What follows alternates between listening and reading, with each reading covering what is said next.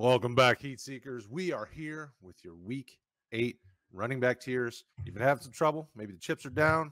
We got your back. We're going to help you out. We're going to get you ready to roll for week eight. We got some good stuff going, and Kylo Ren has now joined me. That's what's under the mask. What is going on, Kraig? Who is our RB1 overall tier this week? These guys are going to be more of the trick or treat section but hopefully they're all giving you treats. There's not much to say. These are who they are. Everybody knows these are the top guys, and Derrick Henry's leading the league in fantasy points right now. Uh, from the running back position. Any thoughts or comments on this tier of running backs? No, Aaron Jones. Certainly, you're probably seeing this after the Thursday night game, which is fine. But with the wide receivers out, as far as Adams, Lazard, and MVS now, it is going to be, I think, Aaron Jones, probably Tonyan, and a whole bunch of Randall Cobb.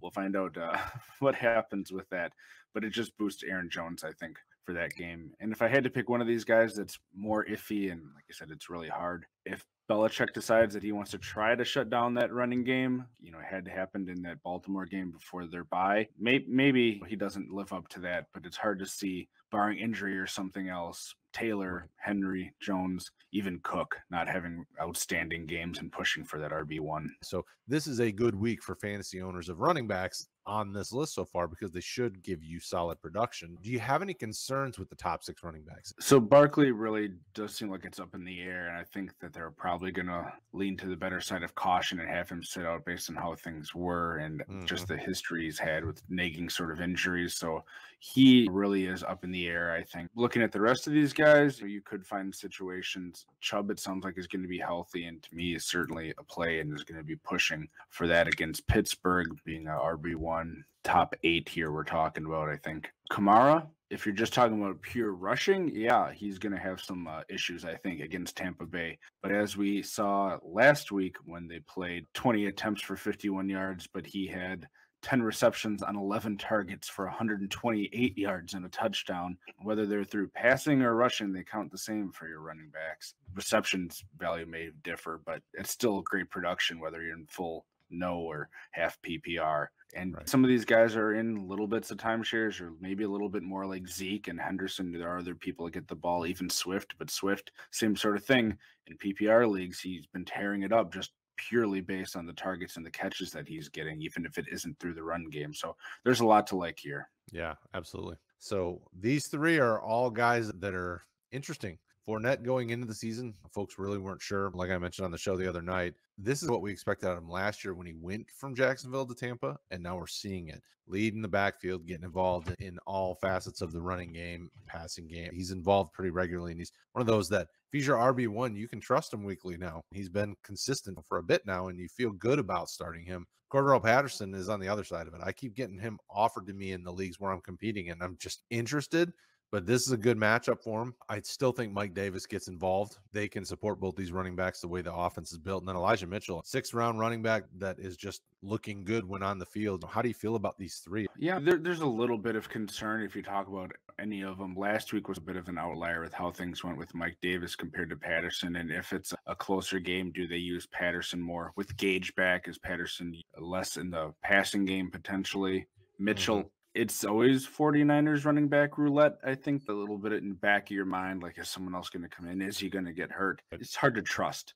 I think is what I'm getting at with that. Yep. And Fournette, same thing a little bit. How much are they going to throw the ball versus run the ball? Do they decide just to pound them, or is Fournette sort of an afterthought and not getting his yards against a New Orleans team that's doing all right against the run? So, do I think that they all have a really good shot to be RB ones this week? I do, but you can see the narrative of why they're a little bit lower than that much larger, you know, top eight tier that we have. Yeah, you got plenty. You got more than twelve in the top two sections, so it's not a big deal. I think Gainwell's got RB one potential, especially if Miles is out and going against Detroit. But that's one that I would be excited about playing as my RB two. Him and I think him and, and Herbert Pollard. There's some really nice plays here. Is there a, a couple of guys in here that you like more than the rest? James Conner is even in PPR leagues has been outscoring Edmonds. I think it's the past five weeks. So I, I think it's interesting that they're both still seen in the same light. With generally, if you talk in PPR formats, people still favor Chase Edmonds when it just hasn't worked out that way. Damien Harris, the Chargers are just giving up loads of mm-hmm. yards and scores even to running backs here, and Harris has proven he's going to be able to do that, at least in that facet of the game, rushing the ball for the Patriots. So I really like him. Herbert, I think, has clearly shown himself to be the guy with Montgomery out. Past week, Damien Williams really wasn't a whole big of a threat to his production. And he did it against that Tampa defense that we just haven't seen give up even, I think it was like 90 some yards or something to a running back this year. It was quite impressive. Now, yeah. they, they didn't throw the ball or have success throwing the ball, but Gainwell, I think, is interesting. Man, I think Boston Scott is going to get used more than some people think. I like Gain. I think he's throughout all of my dynasty leagues, the rookie running back that I have the most shares of because I was a big fan of his doing the rookie draft guide going into it. Position wise, it didn't look that great. And now with Sanders out, he does mm-hmm. have a great opportunity, but it isn't just going to be him. There is going to be Boston Scott, potentially Jordan Howard, who I'm not as scared of, but he knows the system. He's been there before. I think it's going to be much bigger of a timeshare where I'm not completely confident that Gainwell ends up with that. So even against Detroit, Dylan could have, be a sneaky play this week just because of the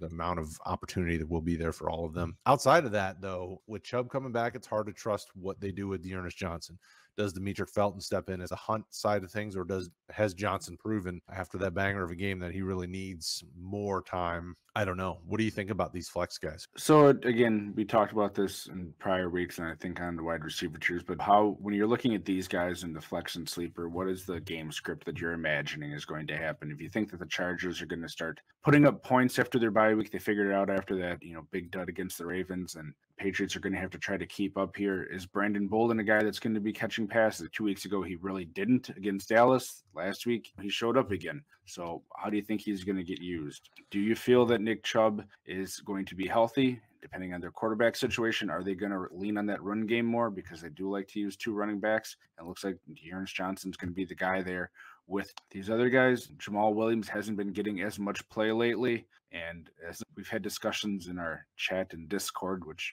go check it out if you haven't gone there yet. Mm-hmm. Mike Davis has been a solid flex play, except for last week. So if you look at it, okay, one game versus the rest of the season, can you trust him as a flex? Seems like a lot of people are leaning towards yes depending on who else you have for an option in your flex spot. And Melvin Gordon, he is a, a tier below Javonte Williams. They are still pretty much getting a split as far as playing time and touches. I don't know that there's that much of a chasm of difference, really. You're talking week to week as you're seeing on the screen here. I think they're probably closer in reality. And Zack Moss, I think, I'm not a big fan of his, but I do think he's a good play against Miami, who gives up a lot of yards to running backs too, as he seems to be the main running back. He does. It's a good matchup for him this week. All right, so let's round it out. I don't really know that any of these sleepers are super exciting sleepers. I don't know that any one of these guys could produce in such a way that that you're excited about putting him as even like he couldn't move up into a flex type category because just the way their teams have been using them lately. We know that Nyheim Hines will have a couple of banger games throughout the year, but it's hard to trust when that is. I thought like last week I flexed Sony in in a couple spots where I was hurting at running back and he did nothing, even though I yeah. really thought that he could get you something against Detroit.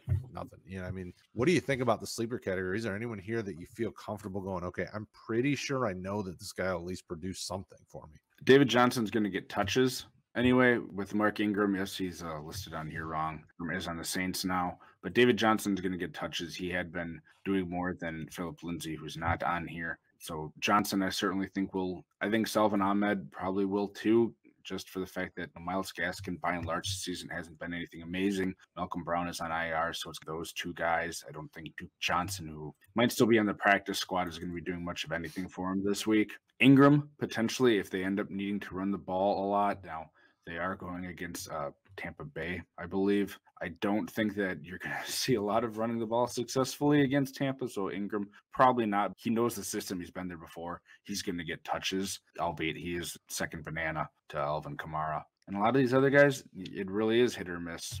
Damien Williams will get touches too, but he's the second banana to Herbert. It's pretty clear. You have a lot of second bananas with limited touches, not necessarily good game situations. You know, Sony mm-hmm. Michel to your point, he's in another good one this week. But is he really going to get those touches, or is it going to be the Henderson show? Go off of last week, it's probably just Henderson. So yeah, it's it's tough to trust any of these guys in the sleeper category. So hopefully you guys don't have to use them. But in case of emergency, anything's possible. All right, so here it is. We got our tiers for the week. We're always here to help. We do our best to answer your questions. Sunday morning, the Boomer Bus Show. You can get your questions answered live on the show and talk to Bryce and, and Sully and Rick and the team and get your questions answered then. Otherwise, Thank you guys. We'll talk to you later.